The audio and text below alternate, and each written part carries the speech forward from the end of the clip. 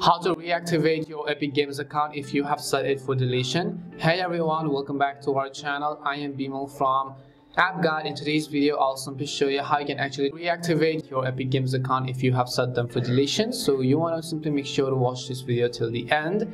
Now what you have to do is just go ahead and then open up your browser and let's say you have set your account for deletion or deactivation. You still have 14 days to recover your account but it's been past 14 days after you have deactivated your account and you will not be able to gain access to it. So you want to be aware of that. So open up your browser and go to epicgames.com once you go to epicgames.com it'll ask you to sign in. Just go ahead and sign in normally as you would when you were trying to log into your account. But when you try to sign in it would basically give you a pop-up saying that do you want to reactivate your account? So we will also simply wait until we get that pop-up.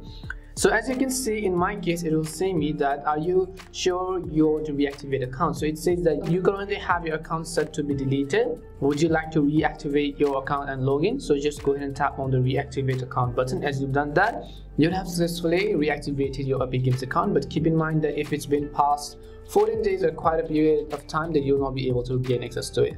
Hopefully this video helped you and actually answered the question as to how you can reactivate your epic games account. We hope the video was really helpful. If it did help you then make sure to leave a like and subscribe to our channel. And if you have any more questions make sure to also leave them down in the comment section. Thank you very much for watching and see you soon in our next video